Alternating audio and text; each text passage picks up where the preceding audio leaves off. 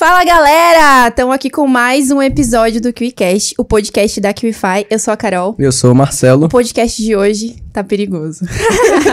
Era uma vez, hein, gente? Era uma vez uma menina inconformada que desde os seis anos de idade começou a ganhar dinheiro. Atualmente, ela domina todos os processos de social media e growth marketing, vende consultoria para empresas e é especialista em estratégia de crescimento com apenas 17 anos. Você sabe quem é?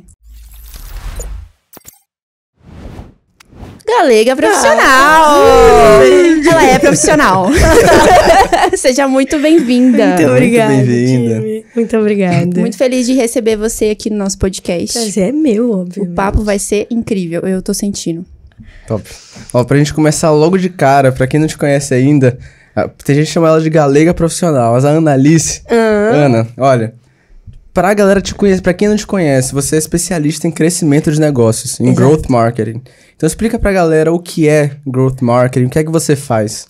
Basicamente, o growth, se a gente fosse fazer uma analogia, é tipo: a gente tem uma empresa que vende pão. Pra fazer o pão ficar melhor, não é só você fazer um pão melhor. Você tem que ter um lugar, uma estrutura melhor. Você tem que ter uma experiência do cliente melhor, que é o que hoje temos aqui o IFI como um exemplo disso.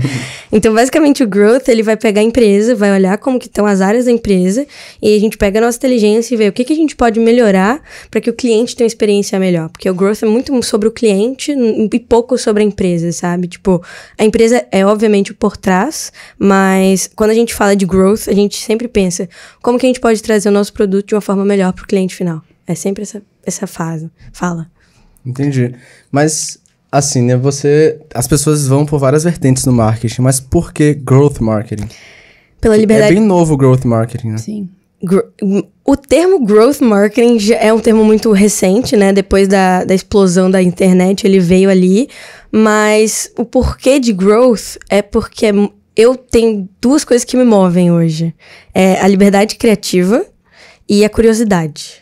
E dentro de growth, a gente tem literalmente o mundo, a gente tem um quadro em branco, basicamente.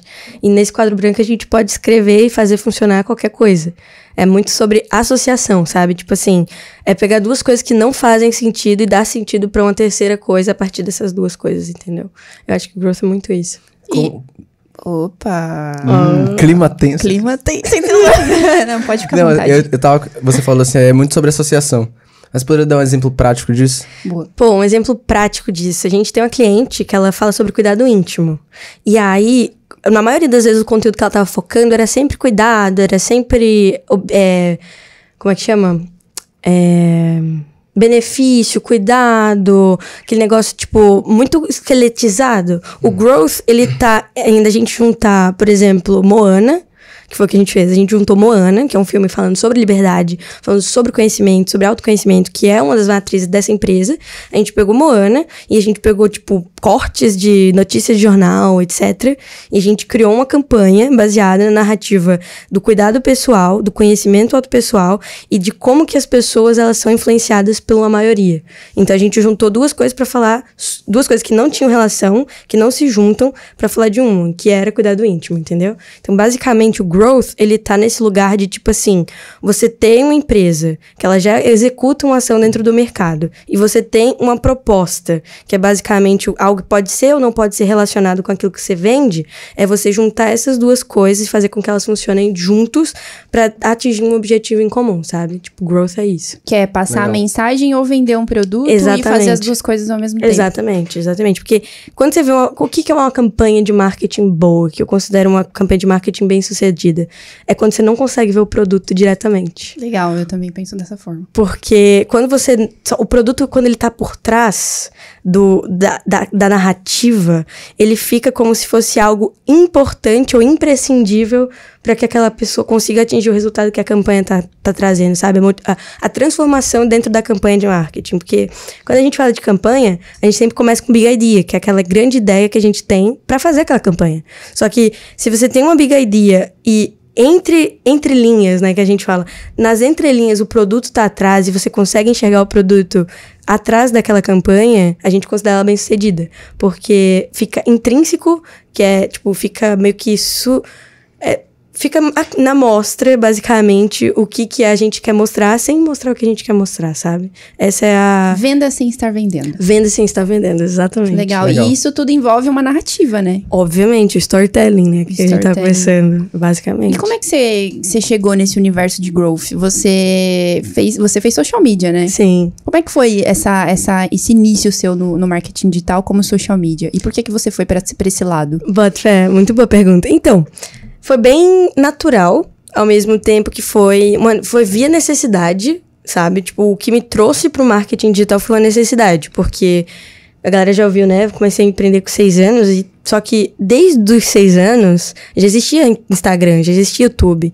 E nessa época eu assistia vários youtubers da época que, por exemplo, produziam conteúdo e atrás do conteúdo eles ofereciam alguma coisa, seja tanto patrocinador quanto deles. E aí eu falei assim, cara, eu preciso de dinheiro, mas como que eu posso convencer mais pessoas que eu quero vender aquilo, que eu que aquilo ali precisa, que ela precisa daquele produto. Então, tipo, desde, sei lá, depois do slime, depois que eu tive a loja de slime, efetivamente eu comecei a produzir conteúdo. Tipo, pra loja. E aí, com a loja de slime, a gente precisava fazer os reviews dos produtos que a gente recebia de outras lojas parceiras. A gente precisava fazer os videozinhos do nosso slime, do barulho que o nosso slime fazia. Isso pelo Instagram. Tudo pelo Instagram. Até hoje tem o Instagram da, da, da Medical, que é a minha, minha loja de slime. Slime, cara. Cara, Olha isso. Eu fiz 6 mil reais com slime, tá? 6 mil reais com slime. Com 12 anos. Cara, slime, velho. É, mas tem mercado pra tudo, né? Sim. Cara, tem mercado. Eu, eu geralmente gosto de dizer que nunca é sobre o produto. É como você apresenta o produto. Pra tudo você vende. Tudo você consegue vender. Se você quiser vender essa xícara aqui, pra uma pessoa que já tem uma coleção de xícaras, você consegue vender. É só você apresentar de uma forma única. Já que a gente chama de PUV, né? A nossa proposta única de valor, tipo. É, então é aquela coisa, tipo, os produtos nem o mercado saturam, mas é o approach que você tem pra ele que satura. É o nível de sofisticação que o mercado tá. E aí você pega o nível de merc- do mercado que ele tá agora e você cria uma solução pra aquela dor. Basicamente. E aí você começou a fazer posts e aí viu que gostava de fazer post e virou social media. Como é que foi isso? Na verdade, eu vi que aquilo ali fazia com que as pessoas vissem meu negócio. Legal. Foi, foi a partir do princípio de ser visto, sabe? Porque tem aquela frase, quem é visto, quem não é visto não é lembrado. Então, tipo, eu pensei, cara, se eu tenho slime, meu produto é bom, meu produto dura, porque na época o problema do slime era que ele não durava muito tempo, né? O tempo dele de validade era curta. Eu E eu já tinha conseguido encontrar uma receita que fazia o slime durar mais. Meu, meu produto tinha uma embalagem decente, vinha com toda uma experiência do cliente bem bacana. Então, o que, que eu podia fazer para que mais pessoas vissem aquele produto bom, sabe? Eu falei, não, o que me resta fazer é confiar no algoritmo, porque se alguém desenvolveu algo para mostrar mais para as pessoas que têm interesse, logo eu posso fazer a mesma coisa. E aí eu comecei a produzir, tipo, postar os slimes, postava. Eu também já postava conteúdo próprio, tipo, gravava fazendo slime, etc. O processo. O processo de criação do slime, exatamente. Aí eu começava a fazer o processo, a galera começou a gostar. Eu falei, ué, tem, tem uma coisa aqui. Aí comecei a produzir mais, aí a conta bateu, acho que, sei lá, 300 seguidores, que pra época era, tipo, extraordinário pra uma marca de slime, tipo. Sim. E aí, tipo, a gente bateu 300 seguidores com a marca. A gente tava tendo pedido do Brasil todo, entregando nos correios os slimes. Eu lembro como fosse hoje. O meu primeiro pedido de slime que eu entreguei foi pra Aracaju. Eu, tive, eu montei toda a caixinha bonitinha lá e postei. E no que eu postei, na época nem tinha Reels, na época era só IGTV, era só IGTV e vídeo e feed normal. E eu comecei a ver que tava dando certo. Aí o que, que eu fiz? Eu comecei a postar no meu pessoal, no Instagram pessoal, o processo de fazendo os posts do, do social media da, da Slime. E eu nem sabia o que era social media na época. Acho que nem existia o termo social media pra época, sabe? Aí eu criei lá uns destaques chamado Meus Trabalhos. E aí eu deixava todas os, os- as artezinhas que eu fazia, os conteúdos que eu produzia ali. E aí depois de, sei lá, dois anos fazendo slime, que eu fiz slime, sei lá, 2016, 2018, ou 2018, 2019, alguma coisa assim. Depois que eu comecei a ver isso, veio um amigo meu perguntando se eu não fazia social media pra empresa do pai dele. Eu falei, ué, como assim? Aí a gente começou, eu fechei com eles 30 posts por mês de feed, 30 conteúdos no Reels e tráfego Qual que era o nicho? Era ótica. Era uma Ótica. ótica, presencial. Esses dias eu até fui lá pra poder visitar eles. Mas era uma ótica, basicamente. E eu o que eu tinha que fazer era pegar as coleções novas, criar uma campanha de marketing pra, essas campanha, pra essa coleção nova, ir lá filmar os conteúdos pra ver o que, que dava pra ser utilizado o que não dava. E aí eu precisava fazer, tipo, 60 conteúdos por mês. Era isso. Eu ganhava 480 reais pra fazer, tá ligado? Então, tipo. Foi, seu primeiro trabalho foi como meu- social. Meu primeiro trabalho como social. Tem até hoje, foi dia 29 de novembro, ganhando dinheiro. foi dia, primeiro, dia 29 de novembro de 2019. Foi o meu primeiro post de, co- como social media. Caraca, velho. Então, tipo assim, é, é interessante dizer que, assim, a pessoa que, que começa no marketing digital, seja o, o- a modalidade de negócio que ela escolhe, sempre tem uma experiência ali que faz ela, ela, oh, viu uma oportunidade aqui e tudo mais. Você teve que aprender sobre social media depois que viu essa oportunidade ou você meio que já sabia fazer e aí você foi na sua liberdade criativa começar a criar esses posts do seu jeito? Então, não e sim ao mesmo tempo. Por, não porque eu fui atrás de saber os princípios que faziam com que as campanhas dessem certo. Eu nunca fui a pessoa que pegava um, um- um vídeo no YouTube de tutorial de como fazer Facebook Ads de uma hora e assistia todos os, os- os negócios. Não. Eu falava assim, beleza, ele cria campanha nesse botão, ele edita vídeo nesse aplicativo, ele faz, ele pesquisa conteúdo no Pinterest. Então, era, é mais ou menos isso. Então, o que eu fazia? Eu pegava os princípios de cada uma das coisas que eu ia precisar fazer. Então, por exemplo, eu quero ficar ranqueada no Google em primeiro lugar. Aí eu descobri o que tinha chamado de SEO. Então tinha algo por trás de ranquear. Aí eu falei, hum, SEO, vou pesquisar sobre. E, então no início eu nunca parei e falei assim, vou, Vou comprar um curso de SEO. não, no início eu nunca falei, vou ser social media. Eu falei, quero trabalhar com marketing. Então, o que que envolve trabalhar com marketing? É design, é gestão de tráfego, é social media, é web design, é SEO, é artigo. O que que precisa? Foi mais ou menos essa ideia. Uau.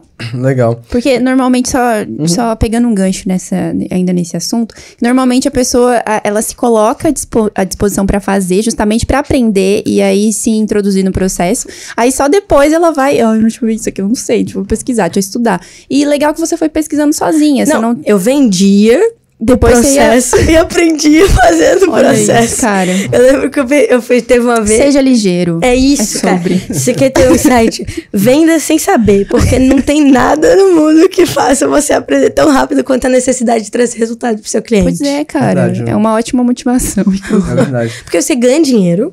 Primeiro você recebe, porque socialmente você recebe primeiro antes de você fazer o trabalho. Então você recebe, pega o incentivo ali de você precisar, além de entregar o resultado, dinheiro, né, financeiro, pra você ter seu primeiro resultado. E você falava, tipo, teve uma vez que eu fechei com um cliente, nunca tinha feito SEO. Só que eu sabia que existia o SEO. Só que nunca tinha vindo nenhum cliente. Aí o que, que eu ia fazendo? Eu ia executando e aprendendo de acordo com a demanda que me vinha. Então eu tava conversando com uma pessoa.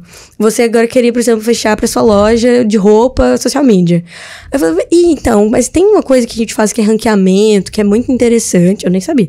Mas é muito interessante, faz muito bem pro seu, pro seu produto, pode trazer muito bem resultado. Você acha que vale a pena? A pessoa responde, ah, óbvio que acho. Quanto que vai ser a mais? Ah, dois mil reais a mais. Mas você não sabia, Não né? sabia.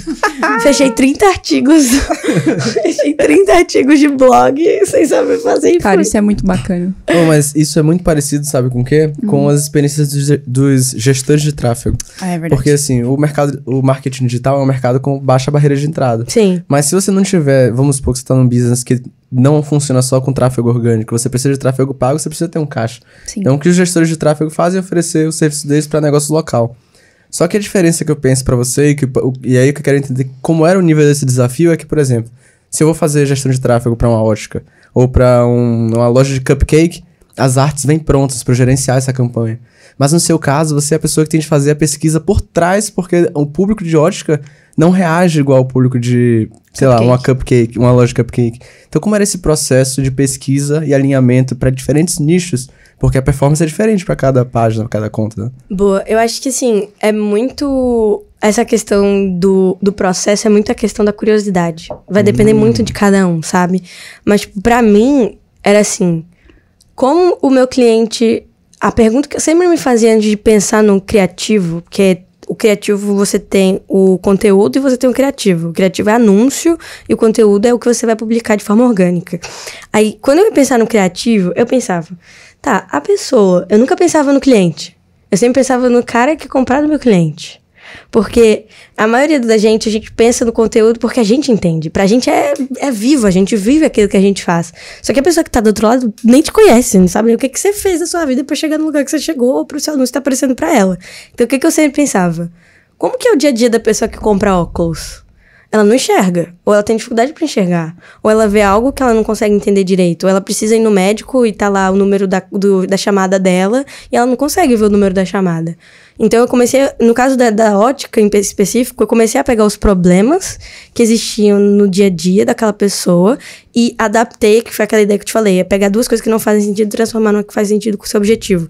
Aí eu pegava, por exemplo, tinha um, um, teve um post que a gente fez, que era um, ó, um óculos, e aí o anúncio era tudo além da lente estava desfocado e com a lente estava focado. Legal. Esse criativo deu tipo 400 cliques com, sei lá, 50 reais, sabe? Então, tipo, foi um negócio que aí foi que eu dei o estalo. Pra eu me diferenciar no mercado e pra eu ter resultado, além de eu precisar ser autêntico, eu preciso fazer com que as situações do dia a dia vejam e mostrem a necessidade do produto. Entendeu? Porque a gente por mais que a gente fale que a pessoa precisa do produto, que ela precisa da solução, que vai mudar a vida dela, ela só vai mudar de vida quando ela verdadeiramente vê que aquilo na prática dela precisa daquilo. Ótima sacada. Não, não adianta a gente querer, tipo, fazer, é, tipo, passar horas em semanas de live de lançamento, a pessoa quer comprar produto, mas se ela não vê que na vida dela aquilo vai ter utilidade, ela não vai comprar. Porque não vai fazer sentido para ela, vai ser só um dinheiro gasto para, sei lá, qualquer coisa. Então sempre foi tipo a ideia de como as situações do dia a dia, as coisas normais, podem se tornar incomuns e converter. É basicamente isso. Foi tipo a fórmula mágica. Conteúdo 1 mais conteúdo 2, mais oferta ou produto, igual a contra-conteúdo, que a gente chama de contra-conteúdo hoje. O que é um contra-conteúdo? Bom, um contra-conteúdo, basicamente, é a junção de duas coisas normais que não fariam sentido juntas e se tornaram. Faz, se deu sentido no momento que você insere o seu produto, a sua oferta. Um exemplo disso. Um exemplo disso, você quer vender uma cinta. Cinta, sabe aquela cinta modeladora? Uhum. Então, você pega um violão, que não uhum. tem nada a ver, que tem um corpo violão, uhum. e você pega a cinta e coloca no violão. Nossa, Isso é um contra-conteúdo. Uhum. Entendeu? Legal, aí você pode. Legal. Aí você só põe na, na, num texto embaixo. Quer ter um corpo violão? Arrasta pra cima. Olha isso, cara, que skin the game aqui o negócio. Fácil. É tipo isso, um contra-conteúdo. Cara, é, é, legal dizer é também que, poxa, o, o social media, na, tipo, a pessoa pensa que é só criar post ou só postar ou em, sei lá, compre um... É, tem, eu já vi muito anúncio de produto assim. Uhum. Hack com 300 designs Ai, de, de Ai, para social media, sabe? E, e, cara, não é só o design. Porque de que adianta o design que tá pronto se você não fez esse estudo e, esse, e você teve essa visão do cliente, do seu cliente para você colocar o seu tempero ali, para você colocar o que realmente vai fazer o cara clicar no anúncio, né? Tipo, você vai fazer o cara, eh, chamar a atenção daquele cara com o cotidiano, com algo que tenha no cotidiano dele. Exato. No final das contas, é fazer pesquisa de mercado e saber o que essas pessoas passam. Tudo é sobre pesquisa de mercado. Sim, e é esse processo que você fazia, tanto é que você trabalhou com vários nichos, era sempre o mesmo, independente do nicho? O processo sempre é o mesmo. É mesmo? Só que a galera fica falando, eu vejo muito vídeo no YouTube da galera como fazer social media pra é, hospital, como fazer social media para contabilidade, como fazer.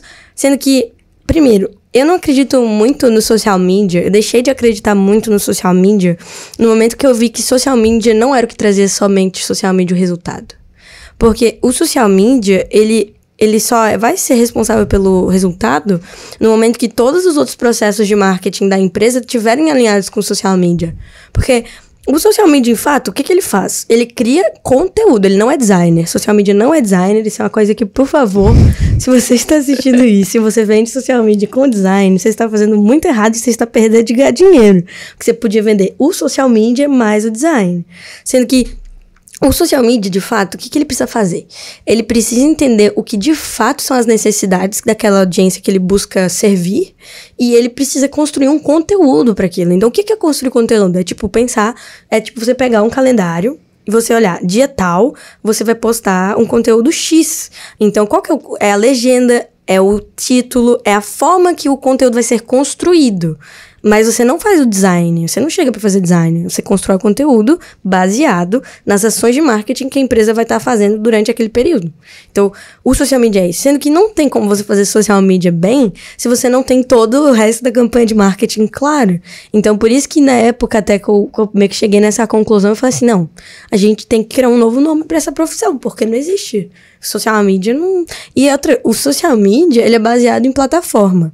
Você vai basear em redes sociais, em plataformas de tecnologia. Se você tem as plataformas em constante evolução, nunca vai ter uma receita para você fazer aquilo, sabe? Concordo. Então, tipo, isso foi muito um argumento meu de não querer vender curso por conta disso. Porque como que eu vou ensinar pra uma pessoa alguma coisa que daqui a dois meses pode ser que não funcione mais? Não tem sentido, É sabe? verdade. Faz todo Então você sentido. não acredita em publi por publi. Publi por publi, não. Publi por publi é, tipo, você vai ter uma audiência lá que vai ver o seu negócio, mas, tipo, pra você converter ela, você vai ter que ter uma, uma educaçãozinha do público pra conteúdo, entendeu? Pra poder comprar o seu Senão você produto. vai dar um tiro no escuro e aí você vai jogar pra sorte. Assim, ah, quem comprar, comprou. Exato. É por isso que eu gosto daquele termo, conteúdo com objetivo. Legal. Porque se você fez um conteúdo, você postou um feed lá no Instagram, e ele não tem objetivo, tá, vai ser só um conteúdo que ou viralizou ou não viralizou. Agora, se você tem um conteúdo que você fala assim, esse post aqui vai ser pra X coisa. Se essa X coisa não aconteceu, esse conteúdo não foi bom. Se essa X coisa aconteceu, o conteúdo foi bom. Então você cria uma métrica pra avaliar se aquela direção que você tomou dentro da sua linha editorial foi boa, se tá sendo boa ou não. Se você tá vendo que você tá postando alguns conteúdos e esses conteúdos não estão dando o alcance que você gostaria, tem alguma coisa ali que você precisa mudar. Só que você só vai entender que precisa mudar se ele tiver algum por trás, se ele tiver uma meta. É tanto que tem aquela frase, né? Se você não tem direção, qualquer direção vai, tá ligado? Uhum, então é sim. tipo isso. Então acaba que social media também faz copy. Faz. Porque, tipo assim, Verdade. eu, e, e, inclusive isso que você acabou de falar, eu, eu- uma vez o Daniel me disse, beijo Daniel, tamo junto. O Daniel é nosso copy. Ele fala que, tipo, ó, se o conteúdo, se eu postei isso aqui, é, esperando ganhar engajamento, esperando um engajamento do- no post, comentário, é, comentário mais, e teve três comentários, então essa copy não foi boa. Ela não converteu do jeito que eu esperava. Exato. E faz todo sentido isso. Exato, exatamente. E, e você teve que aprender copy também, essas coisas? Qual que foi? Eu sempre gostei de vender, né? Uhum. E vender, incrivelmente, tem muita copy. Sim. Então, tipo, eu nunca estudei, nunca parei, nunca comprei um curso na minha vida, tipo, pra poder aprender nada. Mas quando eu fui falar de copy, eu busquei entender com, é, traços de comportamento. Quais que são os padrões de comportamento de usuário que existem naquele mercado eu poder usar isso na minha fala. Porque copy é fala. Você sempre imagina você falando com a pessoa. Porque você pensa, qual que é o tom de voz que eu vou usar? Qual que é, quais são as dores que essa audiência tem? Então, meio que a cópia, ela veio muito intrínseca no conteúdo, sabe? Ela veio muito junto do conteúdo. Você cria conteúdo, você tem que pensar em como você vai apresentar. Você vai botar um storytelling? Você vai colocar um, sei lá, um gatilho de venda, um gatilho de, sei lá, emocional pra dor da pessoa? Vai- o que, que você vai fazer? Então, a cópia veio sempre muito ali. Só que quando a gente começou a fazer lançamento, pegar expert pra lançar lá pela agência, a gente via muita necessidade de, tipo, ter um processo de construção. Porque copy você não, não cria copy, sabe? Copy é construída. Um cara chamado Eugene Schwartz, não sei se você já falar, que é um copy, pô, muito bom, renomado desde 1970, 1980, que já tá escrevendo copy. Ele fala que copy não é, não é criada. Você não escreve copy. Você não chega num dia e você vai terminar uma copy àquela hora. Você constrói a copy. São blocos. Cada bloco tem um objetivo. Então, como que a gente constrói? Então, depois que a gente meio que começou a, a meio que sofisticar no nosso negócio e entregar mais e tal, a gente começou a ver essa necessidade de entregar uma copy, um negócio que converta mais. E aí a gente começou a precisar contratar copywriters mais qualificados. Eu já vi que eu não conseguia fazer, entendeu? Então foi meio que isso. Mas todos esses processos de tipo copy, design, tráfego, eu tive que fazer e aprender na prática mesmo, porque senão não tinha como entregar pro cliente. Sim. Legal. E, e a cópia é o coração do, do Copy é negócio. tu, cara, É, comunica... Se você fosse me perguntar qual que é o- o- a área mais importante da empresa, da empresa, né? Nem da, do marketing, é comunicação. É Sim. copy, não tem como. Tipo, Sim. não tem como. Uma coisa que eu acho que vai tá bem alinhado com o que você falou de, do papel do social media e também vai de encontro com isso dessa publi por publi, é uma coisa que você fala bastante, é sobre campanhas de ativação. Uhum. E que você fala, ah, tem que ter campanhas de ativação com um propósito claro, né? Você pode falar um pouco sobre essas campanhas de ativação? Boa. Pense assim, uma empresa é igual uma pessoa. ela é uma, é uma personalidade jurídica, né? Que a gente chama. Uma, uma empresa é uma personalidade jurídica. Então, se é uma pessoa, ela tem várias áreas dentro da vida dela, correto? Show. Empre- E, e com as campanhas de marketing não funciona do mesmo, funciona do mesmo jeito. Então, basicamente, a empresa ela tem que ter pelo menos três campanhas durante o período do ano lá. Três campanhas ativas, frequente. É a campanha perpétua, que é a campanha basicamente é os stories que você posta, é os feeds que você posta, é os conteúdos normais do dia a dia da empresa para que eduque a audiência, tá? Legal. Segunda coisa, a segunda campanha, é, vamos supor que são as áreas da vida. Você vai ter a escola, você vai ter a parte de educação, você vai ter a parte de relacionamento, você vai ter a vida financeira, você vai ter todas essas áreas. E a empresa também. Então você vai ter a área do conteúdo, da distribuição de conteúdo para educação. Você vai ter a área da campanha direta, que é para as pessoas que não te conhecem, que é uma outra campanha perpétua. E você tem essa terceira, que são as, cam- as campanhas de ativação. Que é basicamente você pegar, por exemplo, o seu ano de venda, o seu 2022, do dia 1 de janeiro até dia 31 de dezembro. A gente tem XYZ de datas comemorativas. E XYZ dessas datas, elas fazem sentido com a nossa empresa. Então, se, por exemplo, você é uma empresa. A a nossa Noir, por exemplo, a Noir é uma empresa que a gente cuida e ela é de cuidado feminino. Então, quais são as datas comemorativas que fazem sentido para nós? O Dia da Mulher, Dia dos- das Mães, de todas essas datas femininas comemorativas faz sentido. Então, o que, que a gente faz? O que, que é uma campanha de ativação? É basicamente pegar o motivo de venda, que é, por exemplo, o Dia das Mães, e criar um- uma história por trás daquele dia. E durante aqueles dias da semana do Dia das Mães, a gente coloca um posicionamento diferente na empresa para aquele momento, para alcançar mais vendas. Geralmente, uma campanha de marketing, a gente cria essa ativação para a gente ter pico de venda. Então, ah, vamos, vamos, por exemplo, aproveitar eu, sei lá, se eu fosse fazer um lançamento, eu quando que eu farei um lançamento? Faz muito mais sentido fazer um lançamento no final do mês, que é quando a galera recebe, ou faz sentido eu fazer no meio do mês, que é quando todo mundo tá sem dinheiro? Então, é basicamente isso, é você pensar em momentos do ano onde a sua marca pode ser levantada e você criar um- uma big idea, uma história por trás daquela data para você vender também. Massa. Entendeu? Então, nesse caso, é como se a galera do social media ficasse presa à só primeira etapa. De fazer um conteúdo perpétuo durante o ano, mas vai andando, vai empurrando, post, post, mas no final das contas não tem algo que gere faturamento, por exemplo. Exatamente. Tipo, é, é como se a galera produz conteúdo, só que muita gente. Eu já vi muito esse argumento, que é. Ah, social media não traz retorno. Como não?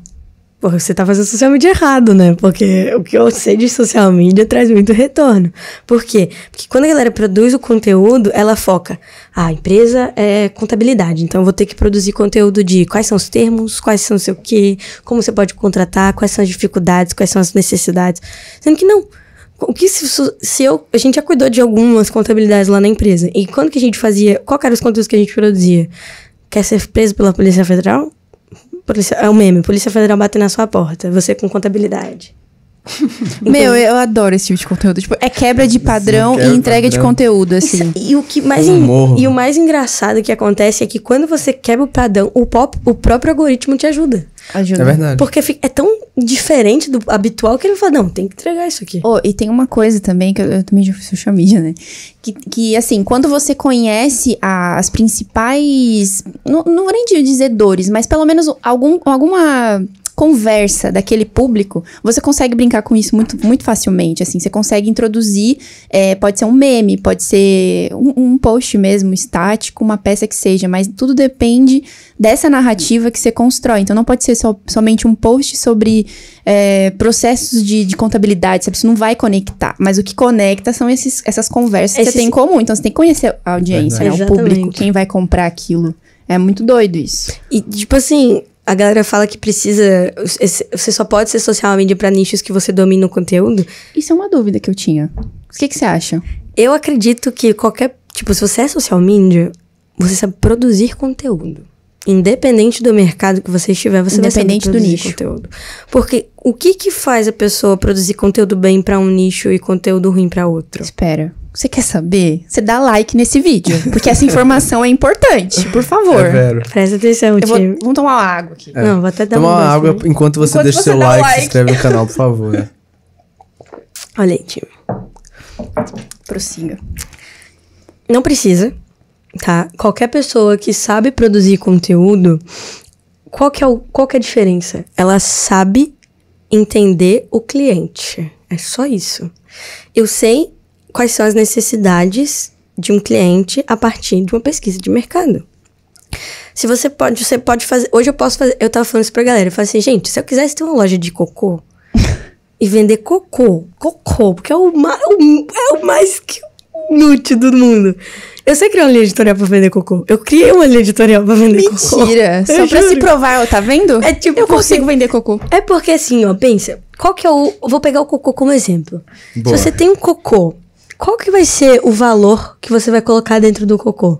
Nenhum. Nenhum. Só que se você vai vender cocô pra quem tem prisão de ventre, o cocô é um negócio muito.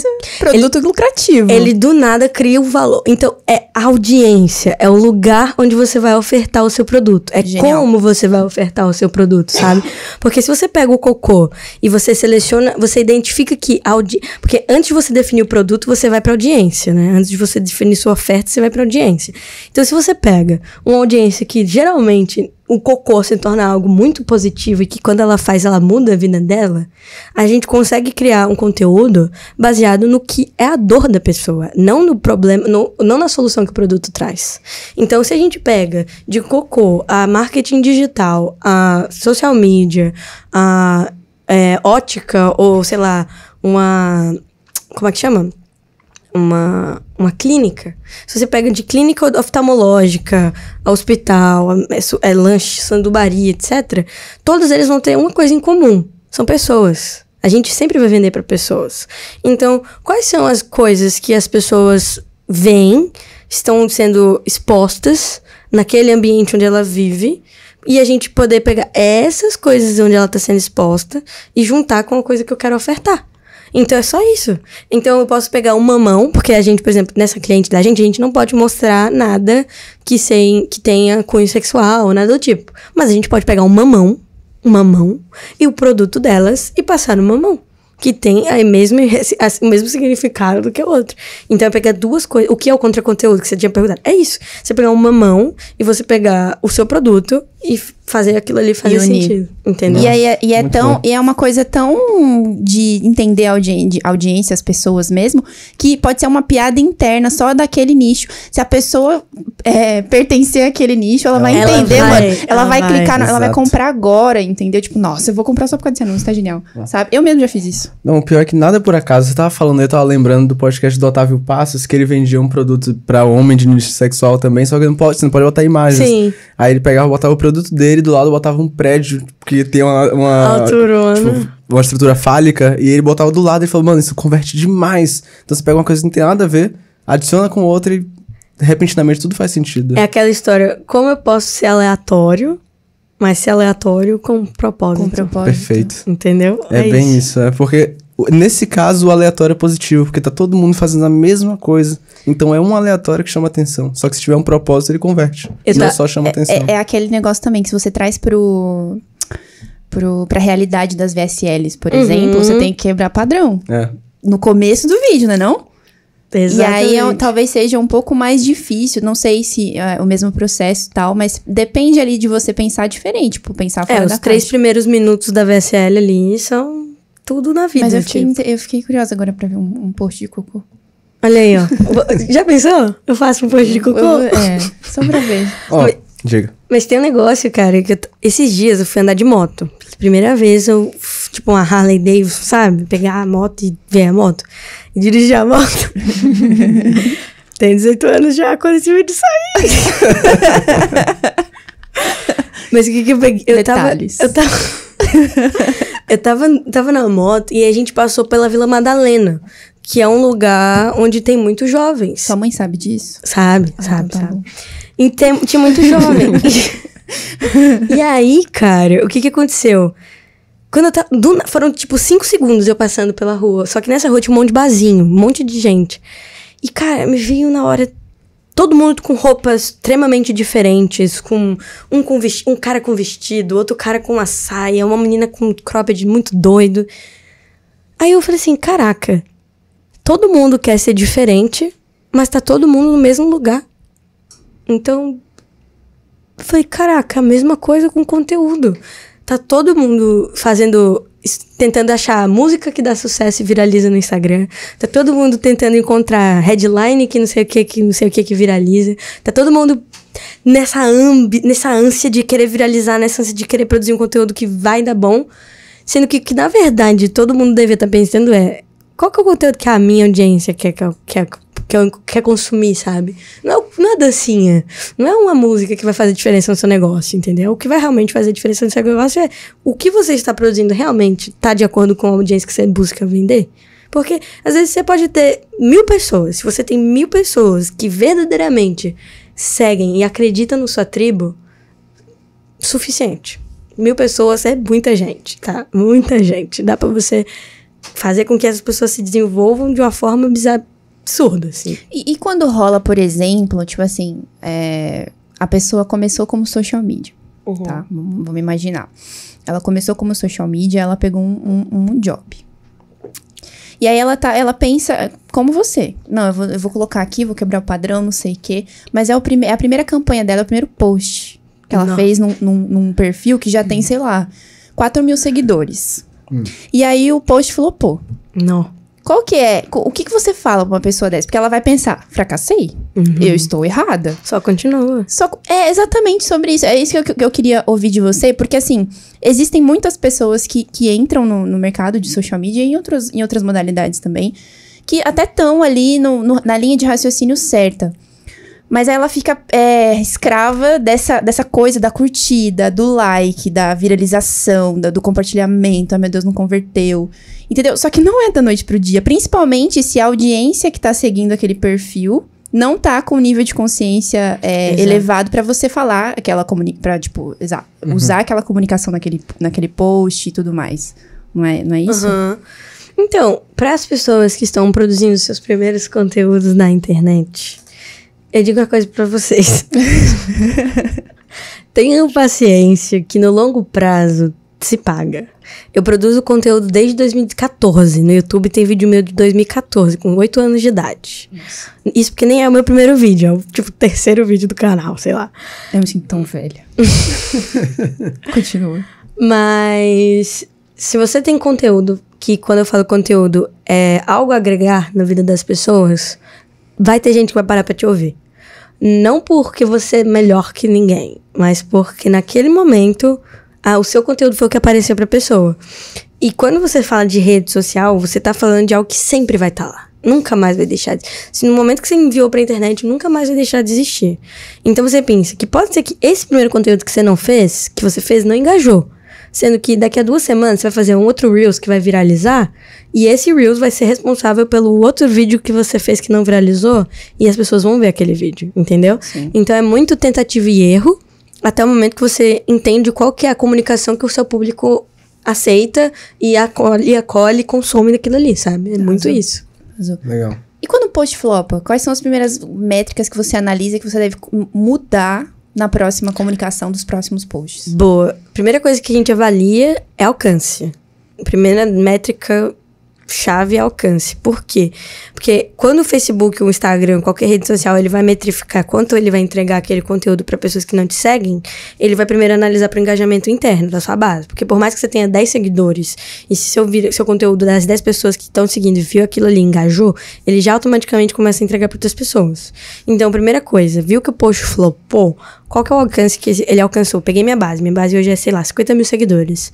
Se dos 50 mil seguidores, 23 mil tiveram acesso, 50% do meu post estava bom. Quais foram os outros 50 que eu errei?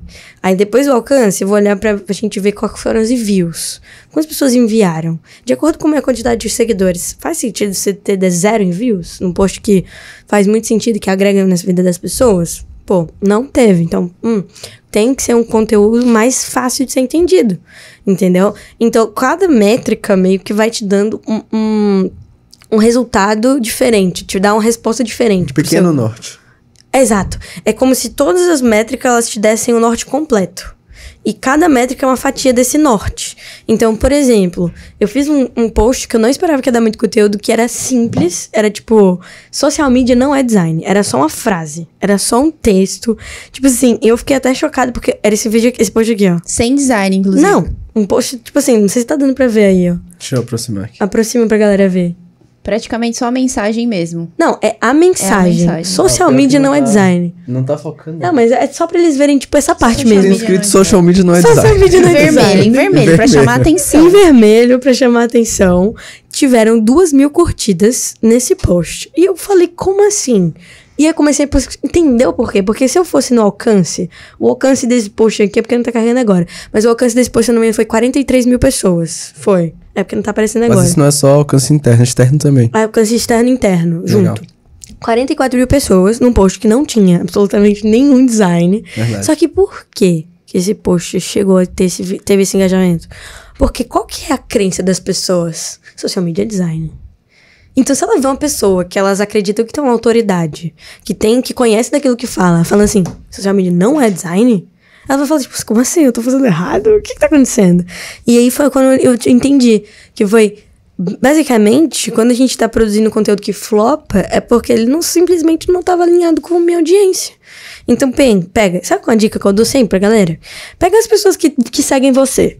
Pega, se você não tiver muita, melhor ainda. Porque fica muito mais fácil de fazer. Entra em todo mundo que te segue. Todo mundo. Até, sei lá, você tem uns 5 mil seguidores, dá pra fazer. Eu já fiz com, tipo, uns 3 mil pessoas, vai. Pega esses 3 mil perfis e olha, durante pelo menos uma semana, Olha o quê? o que que essa pessoa faz. Tudo. E se o perfil for trancado? Ignora. Aí ignora e vai pro próximo. Porque geralmente tem um padrão. E se você vê, sei lá, 100 pessoas, se você pega uma amostragem de 100 pessoas e você começa a anotar, não precisa anotar o nome, mas um, dois, três, até o 100. Aí um, fulano, assiste isso, pega isso, curte isso, vê isso. Fulano dois, vê isso, pega isso, segue isso, segue isso. Você começa a ver um padrão nelas. Tem padrão em todo mundo, entendeu? E você pegou esse padrão, entendeu como que a, o que, que a pessoa consome, o que, que a pessoa compra mesmo. Pegou o que ela consome, o que, que ela compra, beleza, agora é só adaptar aquilo ali para o que eu vendo, de uma forma indireta, e depois apresentar o meu produto, entendeu? Gente, dica de ouro. Não, dica não, de ouro. Não, dica de ouro. Ah, Meu Deus. Tô, tô aqui chocada, meu, minha cabeça tá borbulhando. Sabe o que eu tô pensando? eu, eu fiz. Eu fiz é. eu, fi- é, eu tô criando conteúdos aqui na minha cabeça. Eu fiz social media pra uma. Beijo, Jéssica. Eu, lembrei agora. Um pra um estúdio de Pilates um tempo. Aham. E eu fiz um carro, eu adorava fazer carrossel. E esse negócio, e tava muito, Muito na bom. época, tipo, de fazer, ah, social media não é design, não sei o que, só que eu fazia design. Uhum. E eu sou péssima Eu também já fiz muito design. Só que eu sou péssima, eu, eu nem me especializei. E, e era, uma, era um estúdio de pilates, e eu fiz um carrossel com uma narrativa. Mas eu gostei da copy. Apesar de que eu poderia ter melhorado, poderia, mas eu gostei, foi bem legal. Eu fiz uma copy, porque eu, eu fiz exatamente o que você fez. Você juntou é, essa coisa de juntar algo que não tem nada a ver, mas que faz sentido você trazer para aquele contexto. Eu fiz um carrossel falando, e se o Corcunda de Notre Dame fizesse pilates? Caraca. Mas é muito bom. Não é? Só que você não tá ligada. O perfil, eu tinha, tipo, era, foi a minha primeira semana fazendo, sabe? E eu que meio que tava movimentando o perfil. Só que tinha Genial! 300 seguidores, tá ligado? Genial. E talvez não fossem os seguidores, ou também a, mi- a minha comunicação naquele momento não tava alinhada com aquelas pessoas que estavam Bota fé. Mas a copy tava interessante. Aí o que eu teria que analisar? Tipo, ah, de repente eu teria que usar de uma. Ou aumentar o nível de consciência dessas pessoas que estão Uhum. aqui. Falar mais sobre. Esqueci o nome do, da- do, que tem Do existe uma problema, doença, né? é. E, e talvez é, conscientizar essas pessoas, porque social media também faz isso, né? Ela conscientia- conscientiza o público, a pessoa que segue o perfil, sobre o problema que aquele perfil resolve. Isso é interessante dizer, né? E, e, tipo assim, eu achei genial quando você falou do negócio do Corcunda de Notre Dame, porque pensa, é algo que pra todo mundo é normal. Todo mundo sabe o que é o Corcunda de Notre Dame. Você pode ter 10 anos, pode ter 40, 90 anos. Você sabe? Então, você pegou algo que não faria sentido, que é um desenho da Disney animado, e você pegou o problema que 99% das pessoas têm, que é a postura, sei lá, a coluna, Sim. e você juntou as duas coisas. E nesse momento que você juntou, nosso cérebro mesmo, ele tem essa capacidade de você achar algo interessante quando você associa duas coisas que não fazem sentido em algo que faz sentido. Então, tipo, quando você pega um conteúdo, que sei lá, um caso foi Pilates. Eu também sigo uma, ma- uma página de slime, uma página de, de Pilates, que começou a dar, eu, eu só comecei a assistir por conta do conteúdo, elas nem tem muitos seguidores. Só que o que, que eles fazem? Eles pegam posturas e coisas, por exemplo, Princesa da Disney, no dia do casamento. É um desenho, é um desenho, você nem dá pra ver postura. Ele fala assim, ó, tá vendo essa postura que a Aurora, da Branca de Neve, sei lá qual que é o nome lá, usou É sim o que você faz. Você pode usar e criar o hábito de fazer. Então, tipo, é isso. É você juntar algo que não faz sentido e criar algo novo, diferente, que vai falar assim, como assim? Como que uma página. Mano, McDonald's. McDonald's é o maior exemplo que tem na face da terra de marketing, mano. Tipo, Você brasileiro. acha McDonald's? Eu gosto do Burger King também, velho. De marketing. Não, tô falando Acho de marketing King mesmo. nos Estados Unidos é Nos absurdo. Estados Unidos. É, É, nos é, Estados. Unidos, é, A realmente. Pepsi também, nos Estados Unidos é Sim. absurdo. É, tudo que no Brasil é o contrário, né? Mas É, enfim. Exatamente. Os caras. Não, acho que o melhor ainda, acho que teve. Foi uma campanha que esses dias eu até falei no Instagram, que foi tipo assim.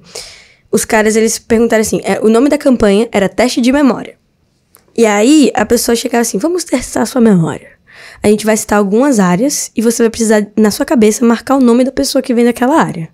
Era essa, era essa chamativa. Aí era, uma, era um vídeo de 1 minuto e 30 segundos. 1 minuto e 30 segundos. Até os 45 minutos, até os 45 segundos do, do, do anúncio, tinha lá, esportes. Aí você pensa, Neymar, ah, é, diretor de filme, fulano, sei o que, ciclano, beltrano, tarará. Do nada, ele chega com a perna. E você pensa, ah, não, mas eu vou lembrar de todo mundo, minha memória é boa. Quando ele chega nesses 45 minutos, ele pergunta assim: e quantas dessas pessoas são mulheres? Aí você fala assim, caraca, por essa eu não esperava. Eu falei, como assim, mulheres? Eu não pensei nisso. E no meu caso, essa resposta só tinha uma mulher. Qual que era o objetivo?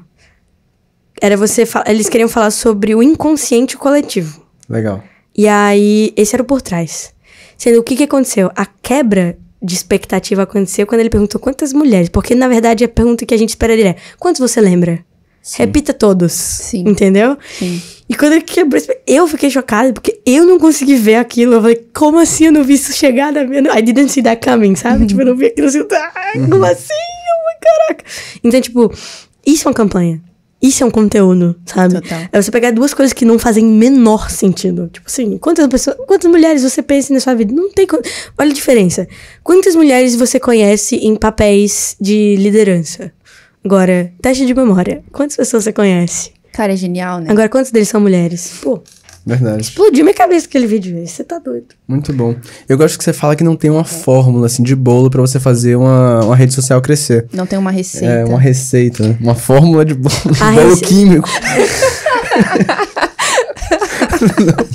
Mas, é, Não, Mas eu digo, não tem uma receita de bolo pra fazer tipo, uma rede social crescer, porque cada caso é um caso. Aham. Mas ainda assim, se você pudesse dar um checklist de tipo assim, cara, isso aqui é imprescindível se você quer fazer, trabalhar com crescimento de rede. Quais são as coisas que não pode faltar? Eu acho que sim, imprescindível. Teve um, um cara chamado Dan Cook, que ele fez uma, uma analogia muito boa. Ele fala assim: tem várias pessoas que chegam pra mim falando assim, Galega, eu não consigo captar cliente pra minha empresa, sou uma agência, não sei o quê.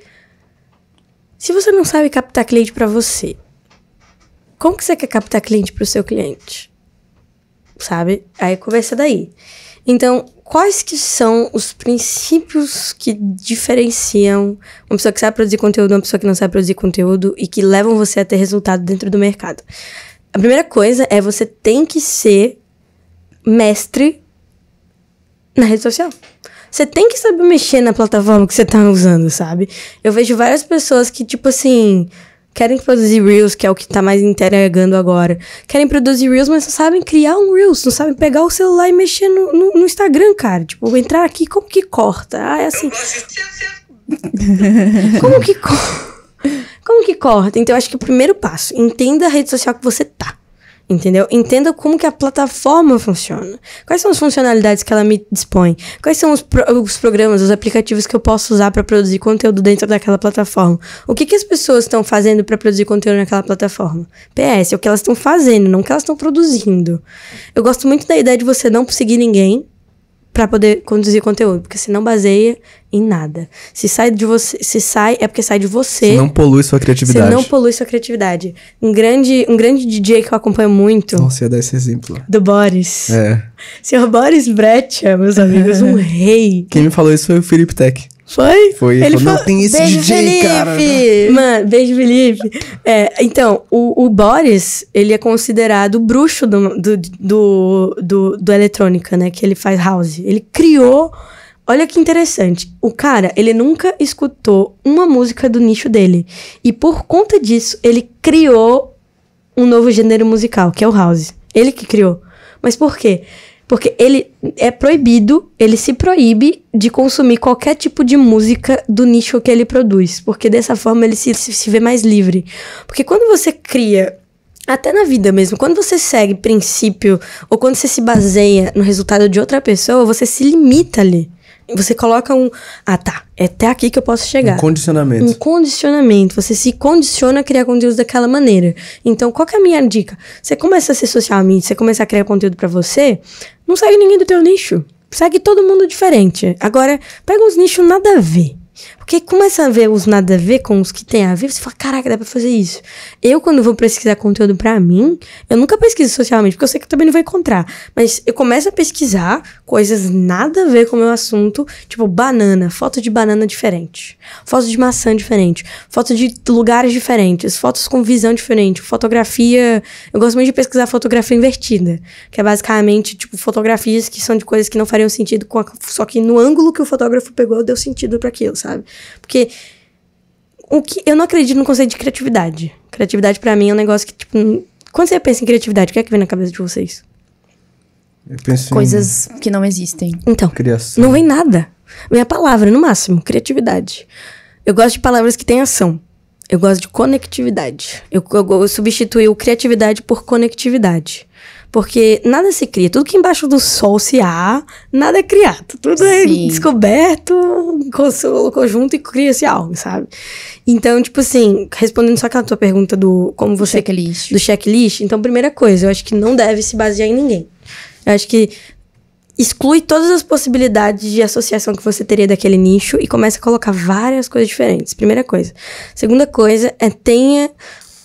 Se pergunte tudo porque você levou aquilo em consideração.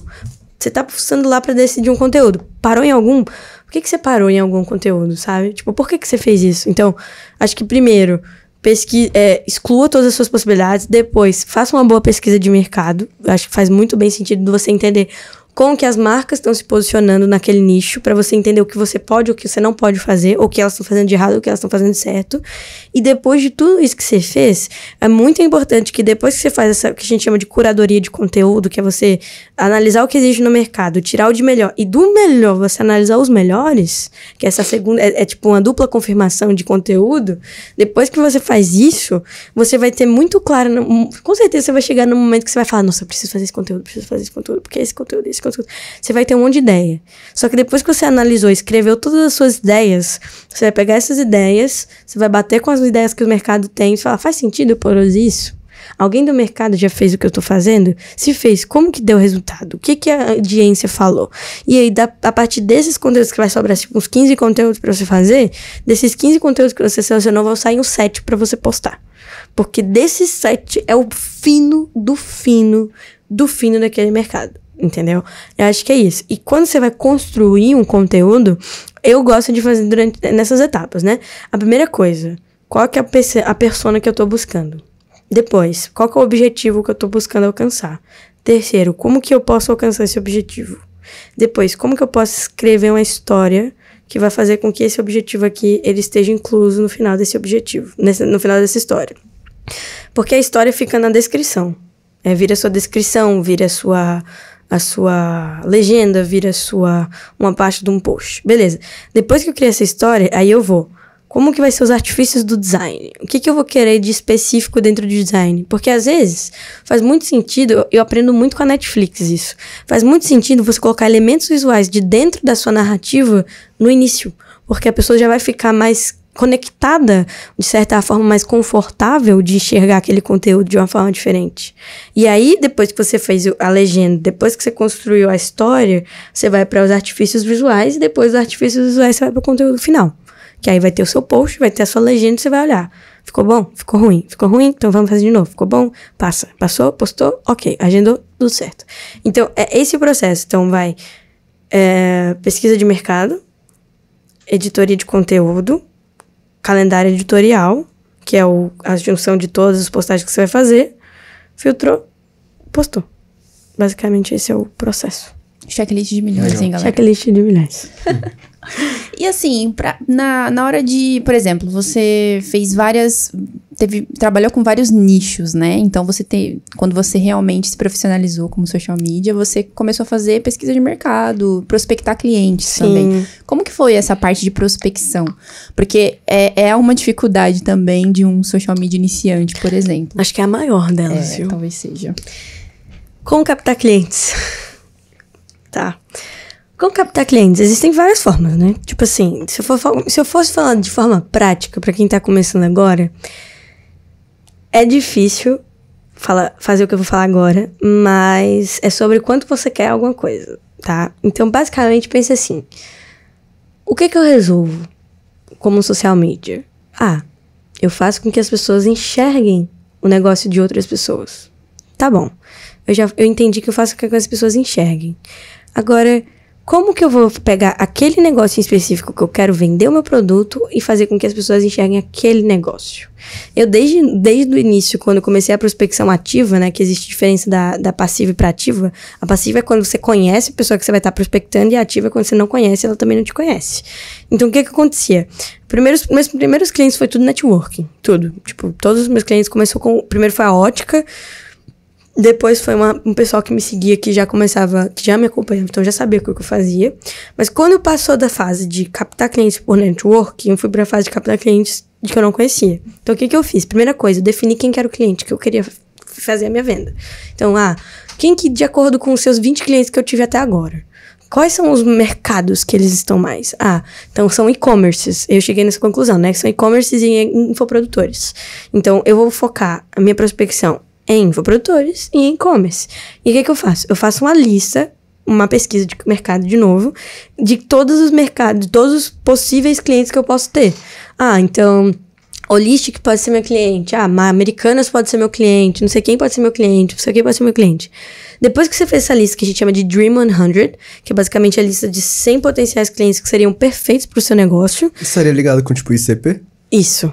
O I, I see, I see- Ideal é, client. ideal Customer Profile. Customer Profile. É. O ICP seria a primeira coisa que você ia definir, entendeu? Ah, Ana, como que eu defino o ICP?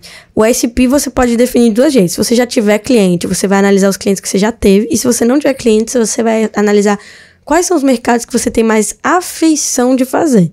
Por exemplo, ah, eu gosto mais de trabalhar com e-commerce de loja, de, de joalheria. Porque joalheria, pra mim, tem um ticket médio maior, tem um LTV gigantesco, e pra mim faz mais sentido ter cliente de e-commerce de joalheria. Ah, então vou caçar e-commerce de joalheria pra fazer social media. Então, por exemplo, depois que você fez o seu ICP, já identificou quem é seu cliente, depois que você já fez a pesquisa de mercado, selecionou quem são os clientes que você quer prospectar, eu não mando mensagem direta. Eu não chego na pessoa e falo, tudo bem, não sei o que, seu serviço. Eu nunca faço isso. Esse eu acho que é um diferencial até porque quando você chega pra pessoa direto pra fazer, ofertar o seu serviço, ela nem te conhece. Então a sua possibilidade é no 50-50 ali, tá? Só que quando você. Eu, eu gosto muito da captação com relacionamento. Que é basicamente você segue a pessoa, você começa a acompanhar os conteúdos dessa pessoa do dia a dia. Você fala, ah, muito bom esse conteúdo. E depois, muito. Gostei, mas não entendi muito.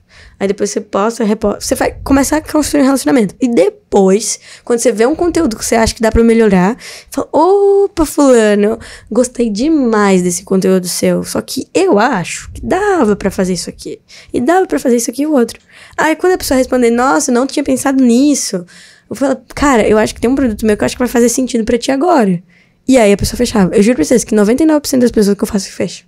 Só não fecha porque não tem dinheiro, às vezes, pra fechar consultoria. Porque quando você gera. quando- na verdade, não é nem quando você gera relacionamento, é quando você realmente se importa, sabe? Quando você realmente se importa com o negócio Real. que você vai vender, ele vê, você sabe a diferença de uma pessoa que quer ver, fazer aquele negócio dar certo e a pessoa que só quer o seu dinheiro. Entendeu? Então, quando você for. Por isso que eu sempre falo, gente, se vocês vão fazer um negócio, faça porque vocês querem fazer. Não porque vocês precisam fazer aquilo. Porque você não precisa fazer nada. O que você precisa é pensar no que você gosta de fazer e pensar em como você pode monetizar aquilo que você quer fazer. Entendeu? Então, quando você se importa de fato com a pessoa que tá do outro lado e você quer realmente ver a empresa dela mudar, você se faz, se faz esse relacionamento, essa linhazinha de relacionamento com o cliente e depois você faz a sua oferta.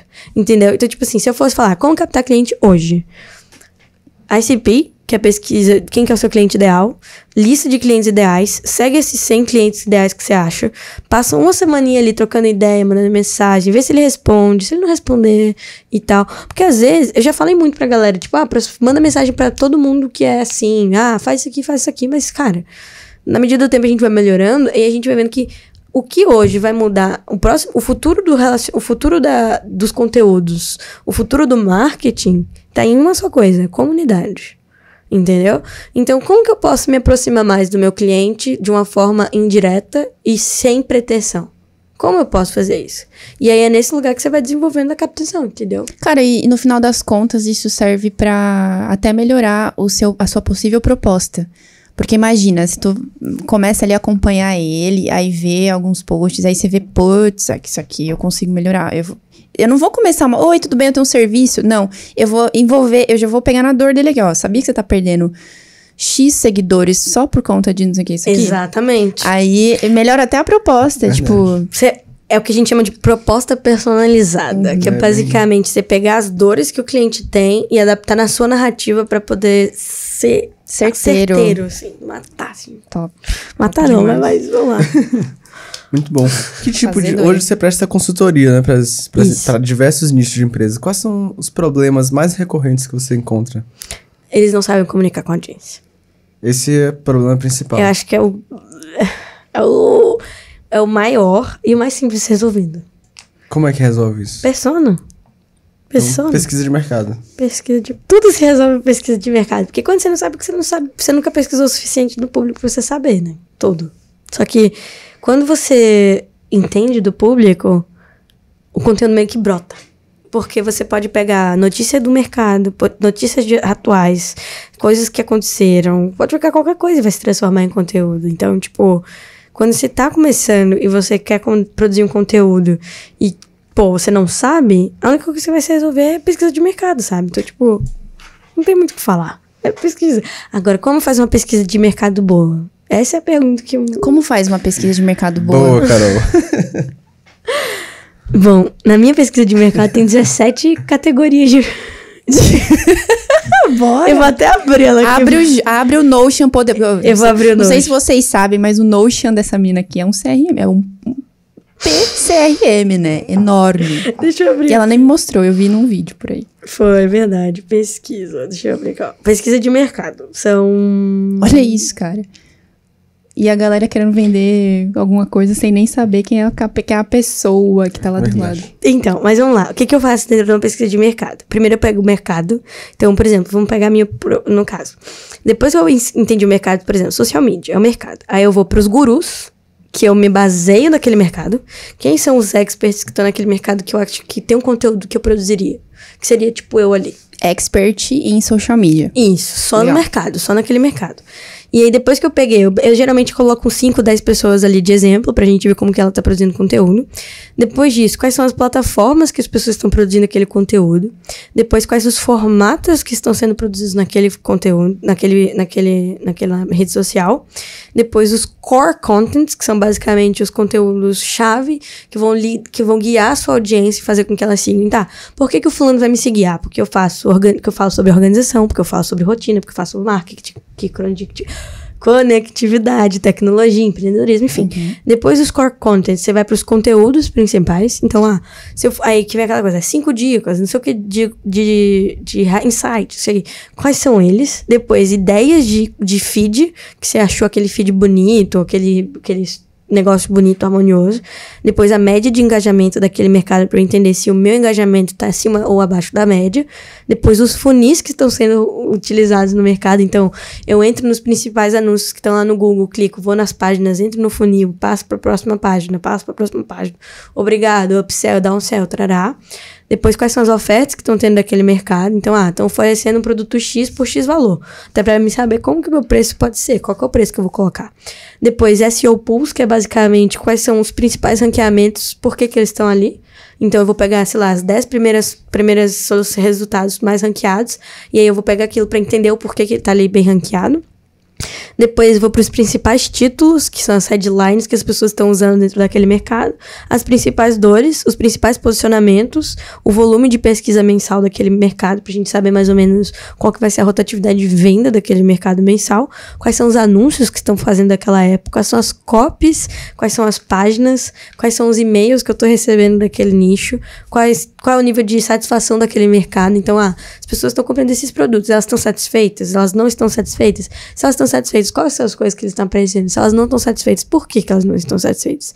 E aí depois, persona global, depois o custo por clique médio daquele mercado, depois o CPM médio daquele mercado, que é a impressões, qual é a margem média de lucro daquele mercado, e depois relatório final, que é basicamente você pegar tudo isso e você falar, dentro do marketing, quais são os pontos? Dentro do, da gestão, quais são os pontos? Dentro do direcionamento do público, quais são os pontos? Dentro das, dos, da volumetria, que é o que a gente chama de toda a parte de número, né? Dentro da volumetria, como que a gente tá? Aí depois você pega isso, toda essa pesquisa, pega a sua empresa, põe do lado e vê o que, que eu preciso mudar, o que, que eu preciso adaptar, o que, que eu preciso consertar, o que, que eu preciso criar de novo. Entendeu? Então, basicamente, é isso que a gente faz dentro da pesquisa de mercado. Depois que a gente fez ela, eu duvido, eu duvido que alguém não saiba responder e produzir conteúdo. De verdade. Tipo assim. Tô chocada. Não, tô chocada. Tô chocada porque, Nossa, assim, muito- é- muita existem coisa. pesquisas e pesquisas. E é legal dizer que aí, pegando um gancho do que você disse, que não, não existe um jeito certo de fazer. Existe o jeito que você achou que funciona e pra você tá perfeito, tá Exato. fino. Só que, cara, olha o tanto de, de, de, sabe, de etapas que existe, existem na pesquisa de mercado, entende? Pra você saber o que, como que você vai adaptar a sua comunicação pra depois entregar, Pra depois começar a movimentar o Instagram daquela pessoa. Exato. É muito doido isso, né, velho? É, é muito complexo, na verdade. É. Sim. Não Bom. é simples. Não é simples. Parece, mas não é. É simples, básico e prático, mas você tem que saber. Depois que você pega o jeito, Não, depois que você pega o jeito, você vai. vai lindo. Exato. Não, mas são muitos tópicos. E você usa o Notion, que é até uma plataforma que a gente usa também. Dá pra ver que você é muito boa com organização e produtividade. Então, como é que você faz pra organizar tipo, um calendário pra você, sabe? De produtividade, de ações. Boa. Ó, não sou parâmetro. Mas, se você. Como foi que eu fiz? Eu peguei uma semana. Eu, eu sempre fui muito desorganizada. Tipo, não desorganizada. Eu sempre fui visualmente desorganizada. As pessoas acham que eu era desorganizada. Sendo que a gente tem aquela organização interna que a nossa cabeça faz, que a gente faz sentindo ali. Sendo que eu nunca. Eu vi a necessidade de, por exemplo, ter uma.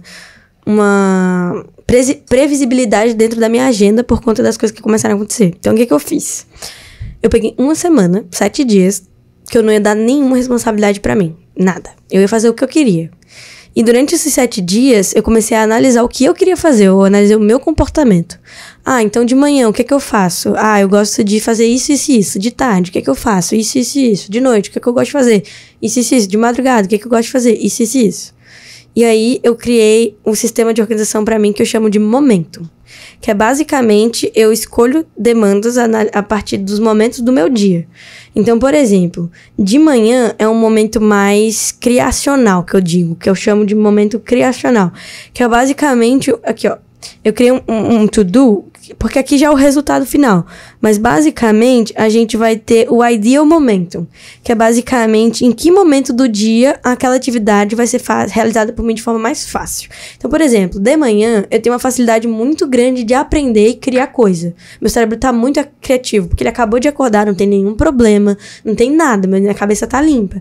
Então, durante a manhã eu vou colocar coisas dentro da minha rotina que me que, que necessitem do meu momento criativo, do meu momento onde eu preciso conectar coisas de forma mais fácil. Então, todas essas coisas, tipo calendário editorial, estratégia de marketing, eu boto pra fazer de manhã, porque eu sei que de manhã eu vou ter mais propensão pra fazer isso. Aí de tarde é um momento mais manual, que é o momento onde eu sei que eu vou conseguir fazer cálculo, que eu vou conseguir ter a cabeça preparada para aquilo. E de noite eu, de- eu digo que é um momentum que eu deixo livre eu fazer qualquer coisa, porque de noite eu fico muito aberta pra fazer qualquer coisa, posso estar criativa ou não. Então, o que, que eu faço? Eu coloco todas as minhas demandas, eu listo minhas demandas, aí coloco a, a relevância delas, aí depois a área, porque no nosso caso vai ter a galega, consultoria, pessoal e etc. Depois o projeto que está relacionado àquilo, então contra conteúdo, enfim, cliente, etc. E aí no momento. Depois que eu venho pro momento, eu pego o momento e vou no meu calendário, no Google Calendar mesmo, pego aquela atividade e coloco lá, duas horas para fazer aquilo, três horas para fazer aquilo, uma hora e meia para fazer aquilo, uma meia, meia hora para fazer aquilo. Então, basicamente, na minha organização, eu separo por momentos do meu dia. Então, de dia eu tô mais pra isso, de noite eu tô mais pra isso. Pego os meus momentos do meu dia, pego as demandas e encaixo elas de acordo com esse momento. E aí, disso eu vou fazendo, vou fluindo. E você tem a maior parte dessas atividades já programadas. Legal. Cara, eu admiro quem consegue usar o Notion, assim, pessoalmente, sabe? Verdade. Porque demanda uma organização aí, cara. Tipo. Não. E eu era noiada com essas coisas de, de organização. Tipo, eu já tinha tentado de tudo, velho. Trello. É, aquele Eu já tentei usar o Trello Monday, também. ClickUp. Tudo que você imagina de, de organização. Eu tentei. Só que quando eu encontrei o Notion, cara, pra mim foi, tipo, bizarro. Porque ele chega com uma folha em branco, né? Ele é uma folha em branco. sim, sim. É. Você não, você não espera criar, você não, não vê o processo ali. Só que pra mim foi, tipo, no início foi assustador, porque eu falava, caraca, tem tanta coisa que eu posso fazer aqui dentro, só que eu não sei o que eu faço. E aí, depois que você passa desse momento da- do susto, você começa a entender que você tem como criar coisa diferente. Aliás, sua empresa, a empresa inteira tá no Notion, né? Todos os processos internos da empresa, você tinha falado. É. Tá, no Notion, tudo. Tudo, absolutamente tudo. E você cuida hoje sozinha? Tem gente na sua equipe? Como é que funciona a Inconformídia? Hoje, Ela é inconformada porque ela tem Conformídia. então, a Inconforme de hoje só sou eu. Só você? Só eu. A gente tinha uma equipe de 10 pessoas na, na Dinias, quando a gente ainda tava com a agência. Só que eu sempre percebi que, não por culpa das pessoas, sempre a culpa vai ser minha, mas quando eu delegava certas coisas por falta de processo, nunca sai do jeito que eu queria. Nunca tinha o resultado que eu queria. E eu falei assim, cara, eu prefiro fazer sozinha e colocar a mão na massa todos os dias pra poder fazer algo que, tipo, vai ficar do jeito que eu acredito que vai dar certo, do que eu colocar pessoas que também são qualificadas, só que não tem a minha visão do mercado, entendeu? Então, tipo, hoje a gente tá sem ninguém contratado oficialmente. Só tem galera que faz freela, né? Mas que é pra poder colocar em algum projeto, algo do tipo. Mas quem faz todos os processos hoje sou eu, da Inconformity. Então a margem de lucro é 100%. Uau. Caraca, o que, que você gosta mais de fazer? Hoje em dia, Qual o processo que você, que você curte mais? putz, criar campanha.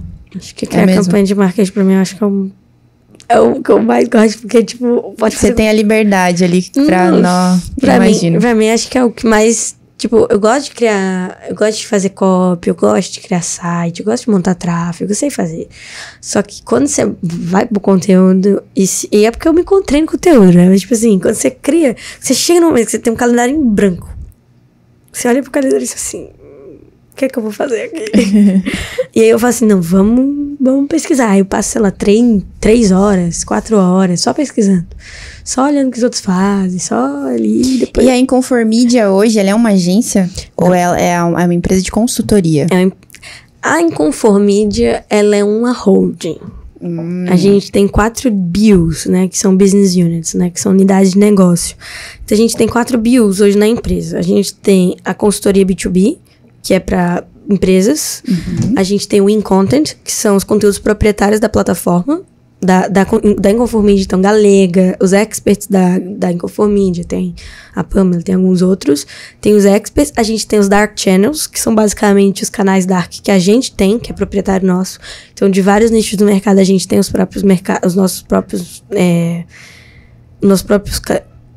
Nossas próprias contas, nossos, pró- nossos canais proprietários. E a gente tem Platform, que é basicamente a plataforma de onde todo mundo, onde tudo fica centralizado, que digamos fosse o Notion.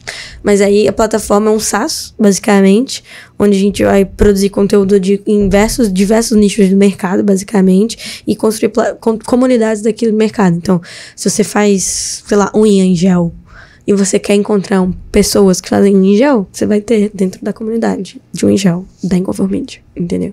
Genial, cara. Muito legal. Oh, e você começou muito cedo. Como é que você lida com a pressão de ter de dar consultoria pra uma pessoa que tá há anos fazendo aquilo ali, sabe? O cara tá lá, 40 anos, CEO, e ele vai pedir a consultoria pra você que tem 17 anos. No início foi bem complexo, porque, tem muito aquela coisa da síndrome do impostor, de tipo, será? Será que eu sou realmente boa? Será que eu, será que eu realmente trago resultado?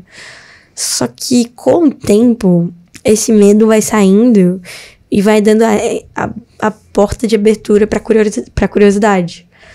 Porque eu sempre fui muito curiosa. Eu sempre levo como curiosidade um fator muito importante na vida de qualquer pessoa. Mas quando eu conversava, tipo, já teve uma vez que eu tava conversando com um cara de 54 anos, que ele tinha uma agência. Ele tinha uma agência. E ele tava querendo me contratar pra consultoria da agência dele. E aí, quando eu tava conversando com ele, eu percebi que ele sabe muito, só que o que muda entre eu e a outra pessoa é a forma que a gente enxerga o mundo entendeu? E quando você entende como o, a pessoa que você está conversando enxerga o mundo, você consegue adaptar a sua comunicação para a comunicação dela. Teve uma vez que eu estava conversando com um bilionário, primeira vez que eu conversei com um bilionário na minha vida. E ele era muito parecido com meu pai. Ele fazia exatamente as mesmas os mesmos comportamentos coçar a barba quando não entendia, o cabelo. Então, tipo assim, eu comecei a prestar atenção nele e a gente queria vender, fazer um pitch para ele de venda para um projeto que a gente tava fazendo. E eu comecei a prestar atenção no que, que ele fazia. E eu falei, caraca, ele é igualzinho meu pai. Então eu vou conversar com ele como se eu estivesse conversando com meu pai. Como os comportamentos deles querem dizer isso. Eu tô vendo o que significa isso. Então o que, que eu faço? Geralmente, quando eu tô conversando com pessoas mais velhas, em, em, nas quais eu preciso de algo, que eu quero pegar algo daquela pessoa, conseguir algo com aquela pessoa, eu entendo como que aquela pessoa enxerga o mundo e a partir daquilo eu crio as eu adapto as minhas justificativas para forma que ela fala. Então eu nunca tive muita dificuldade de conversar com gente mais velha, tipo, eu nunca fui, nunca tive essa galera falar: "Ah, não, mas você tem muita objeção com a galera que você vai começar mais velha". Nunca tive tá? Nunca, nunca tive essa, esse problema, mas eu acho que é a questão de eu conseguir me adaptar ao ambiente em que eu tô colocado, entendeu? Tipo, é muito sobre isso. Então, é se adaptar aonde você tá, adaptar ao ambiente que você tá, eu acho que faz total diferença, sabe? Espera que passa, né? Espera que passe. quando, você começa, quando você começa a criar resultado e você ter nome no mercado, as pessoas nem me perguntam isso. E deixa eu te perguntar, é... você pensa em escalar em Conformídia? Pensa. É? Qual que vai ser a primeira coisa que você vai delegar? A primeira coisa que eu vou delegar? Uhum. A consultoria. A consultoria? Com certeza. A gente tá chegando. A gente, tipo, hoje, o único motivo de eu estar tá fazendo essas coisas sozinha é porque na Dinhas, a gente. Eu tive que parar com a Dinhas por conta disso. Por falta de organização na delegação. Então, o que é que eu tô fazendo agora? Eu peguei o que para mim é normal fazer no dia a dia e comecei a pensar: como que eu faço? O que que eu faço? Quais é as coisas que eu analiso? Como que é? O que é um conteúdo bom? O que, que é um conteúdo ruim? Por que, que esse conteúdo é bom? Por que, que esse conteúdo é ruim? Por que, que essa headline é que chama minha atenção? Qual foi o sentimento que me trouxe? E aí a gente começou a fazer isso, de tipo, analisar o porquê de tudo que eu que eu caracterizo de porquê e começar a anotar. Então a gente pegou todas as áreas da empresa e separou elas, em, quebrou elas no Notion e começou a processualizar tudo. E aí depois que a gente terminar de fazer esse processo de processualizar uhum. tudo, aí eu posso falar, ó, fulano, Qualquer pessoa, na verdade. Se a pessoa pegar minha irmã para fazer, ela vai fazer. Porque o processo fica simples. Tudo é simples, até você entender, né? Sim. Então, tipo, eu vou. A primeira coisa que eu vou delegar com certeza seria consultoria, porque agora já tá chegando esse momento. Agora, inclusive, a gente já tá começando a contratar as pessoas. Vai começar o processo de contratação agora, mês que vem. Então, tipo, a gente vai delegar consultoria e depois que a gente delegar consultoria, a gente vai passar para o próximo processo, que é processualizar o meu processo de produção de conteúdo. Que aí vai ser muito mais doido, porque a forma que eu enxergo o conteúdo é, é um negócio bizarro. Então, tipo, pra tirar isso da minha cabeça vai ser um desafio. E, tipo, é, deve dar um apego, né? Tipo, mano, não vão fazer do não, jeito eu, que eu espero. Nossa, meu Deus! eu, conver, tenho, eu tipo, acho que isso rola com todo produtor de conteúdo. Eu, eu acho que tem. Que Porque ninguém entende melhor que você do seu, da sua audiência, sabe? Tipo, é, é fato, ninguém entende. Mas você acaba também aprendendo mais quando você compartilha também, né? Existe esse, esse tem, ponto. Verdade. Quando você consegue compartilhar, de repente, você chega num ponto que você consegue compartilhar, então você sabe tanto aquilo que você consegue ensinar outra pessoa. É verdade. É a verdade. fazer daquele jeito. Mas com certeza deve ser mais difícil. Não, é, eu acho que é mais apego mesmo. É mesmo? Eu acho que é apego. Porque eu fico pensando assim, não, mas ele não vai falar isso, mas ele não vai falar isso.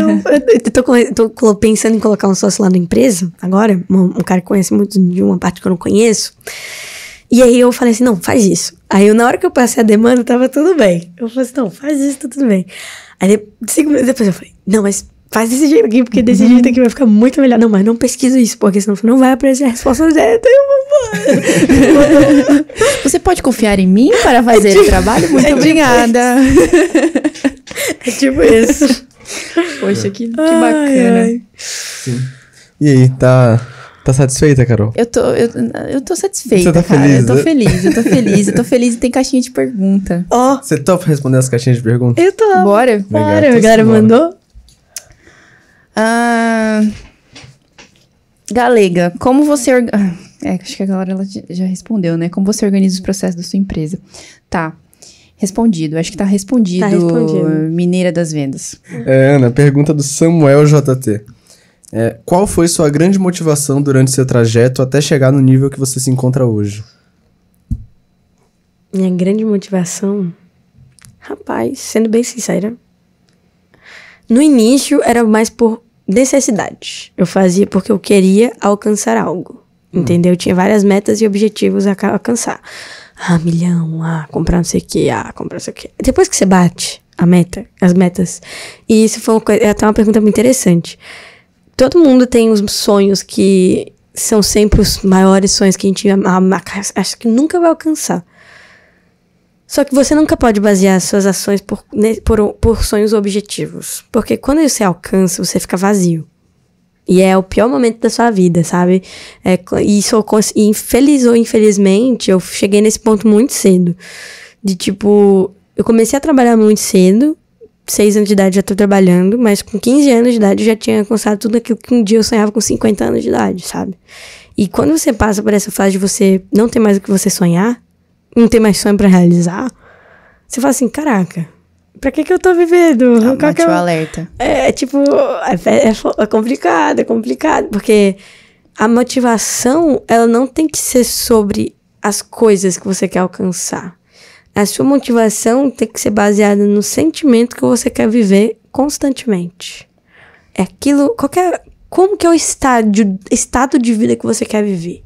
Você quer viver preocupado com as contas no final do mês? Ou você quer viver preocupado com a refeição que você vai fazer amanhã no restaurante que você quiser fazer? Entendeu? Hum, É sobre mais a motivação que hoje eu encontro na minha vida é trazer vida pra vida de outras pessoas. Que eu percebi isso desde pequena. De- tipo, Desde 5 anos de idade, eu tinha umas tias minhas que tinha. Como é o nome daquele problema que você acha que tem um monte de problema? Hipocondríaco, eu acho que chama. É, É, sobre doença hipocondríaca. Isso, isso. E aí, desde pequena, eu, eu quando eu conversava com outras pessoas, é meio que como se eu desse vida pra elas, sabe? Tipo, eu desse uma razão pra ela viver. Não eu, mas o que eu falava, as coisas que eu falava pra pessoa, a forma que eu interagia com a pessoa, a energia que era trocada naquele lugar, trazia vida na vida dessas, dessa outra pessoa. E aí, quando eu comecei, e desde pequena eu já produzia conteúdo, e quando eu comecei a ver as pessoas tendo resultado a partir das coisas que eu falava, falei, caraca, eu trago de fato vida pra vida de outras pessoas. Então a minha motivação, ela veio a partir do momento que eu olhei pra trás, eu vi como que eu a faz, o que que é genuíno da Annalise? O que que a Annalise faz de verdadeiramente que ela ama fazer? Eu amo trazer vida pra vida das outras pessoas. Então a minha motivação hoje é trazer a vida da vida de outras pessoas. Aí isso pode ser por meio dos meus produtos, pode ser por meio das minhas empresas, pode ser por meio de um podcast que eu tô conversando aqui com outras pessoas. Então tudo que eu for fazer vai ter que trazer vida pra alguém de alguma forma. Entendeu? Então hoje a minha maior motivação é trazer vida na vida de outras pessoas, assim como as pessoas trazem vida na minha vida. Porque sem a outra pessoa eu não consigo trazer vida pra ela. Então eu não consigo viver sem as pessoas. É basicamente. Legal, que que, bonitinho. linda. Eu fico Mas sem com certeza. É, você trouxe muita vida nesse papo, porque, cara, sensacional. Bom. É muito legal aprender com todo mundo que vem aqui e todo mundo tem uma visão diferente de negócio. Verdade. E a sua é muito única, né? É muito criativa, é muito sua, é muito galega ou Annalise. E temos presentes. Claro que a gente tem presente. Temos né? presentes. Ó, Vamos pegar esse presentinho. Bora pegar. gente, eu não sabia não. Não sabia? Ah, surprise. que que é isso? Ótimo. Ó, os KiwiFi, uma empresa de experiência. Ou como é, como é o, o slogan online e offline? Online, uma plataforma de infoprodutos. Offline, uma empresa de experiências. Olha aí, gente. Olha. Uma lembrancinha daqui Olha cá. pra você. Ó, Não, ali, olha aí, ó. Tá vendo aí que a gente falou hoje mais cedo? Olha aí, ó. Aprendam, empresas. Empresas. Aprendam. Ó, aqui, ó. Isso aqui, ó. Isso aqui, ó. Caraca, time. Apenas um, um presentinho pra agradecer sua presença aqui no nosso podcast. Muito obrigado, gente. Obrigado por compartilhar seus- seu conhecimento, sua, sua experiência com a nossa audiência, que é muito rico isso pra gente. Vou botar aqui do lado. Ah, tá. Boa. Boa, boa, boa, boa. E é isso, né, Marcelo? Isso, bom demais. Cara, é muito bom ver pessoas tão jovens como você com esse nível de consciência, sabe? Porque não é só sobre ter resultado, mas é sobre compreender o que tá acontecendo ao seu redor, saber se posicionar e ter visão de futuro, porque eventualmente as coisas acabam. Então, parabéns pelo que você tá criando. É muito cedo ainda e ainda assim você já tá com a cabeça E ainda legal. vocês vão ouvir muito falar de analista custódio, ou galega profissional, É ou qualquer outro codinome que ela criar. Ah, então, satisfação de ter aqui. Muito valor agradeço. agregado. Espero que a galera tenha curtido muito também. E no futuro aí vai ter muita coisa sobre essa, essa baixinha aí ainda. Com certeza. Bora, time, bora. pra quem quer te encontrar nas redes sociais? Boa. Time, pra quem quer me seguir é básico, é Galega Profissional. Lá tem uns conteúdos legais também de, de rede social, uns hackzinhos pra explodir a mente do povo. É isso. Top. Isso aí. E você que quer aprender a ser so- social media, ou você assistiu esse episódio até o final, parabéns. Então você tá aqui realmente criando, Engajado. é, engajando e tendo a possibilidade aí de criar conteúdos ótimos.